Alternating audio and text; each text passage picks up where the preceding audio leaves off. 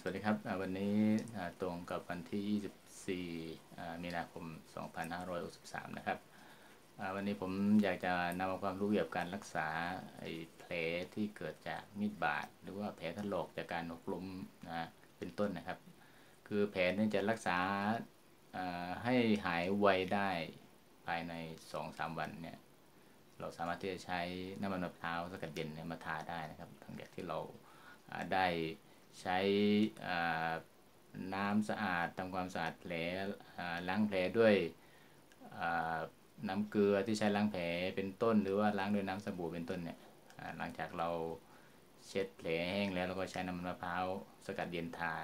วันละสองครั้งนะครับ เช้าครั้งหนึ่งเย็นครั้งหนึ่งนะครับแผลก็จะหายได้ไวภายในสองวันนี้ก็เรียกว่าแทบจะหายสนิทแล้วนะครับ ก็คืออโดยคำ อธิบายหรือว่าโดยข้อมูลที่ค้นจากอินเทอร์เน็ตเนี่ยมันมีบางข้อมูลที่บอกว่าไม่มีหลักฐานชัดเจนว่าเชื้อโควิดเนี่ยสามารถติดต่อได้ทางแผล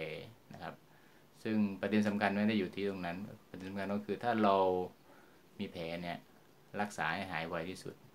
ก็จะดีที่สุดครับ แล้วก็วิธีนี้ก็ใช้ได้ดีามารถนำไปใช้ได้นะครับ แล้วก็ขอให้ทุกท่านจงมีแต่สุขภาพที่ดีนะครับ ผ่านพ้นวิกฤตโควิด -19 ไปด้วยกันทุกท่านนะครับขอขอบคุณสำหรับการรับชมนะครับ ผมเจรพันธ์สุบรรณพันธ์ขอบคุณครับ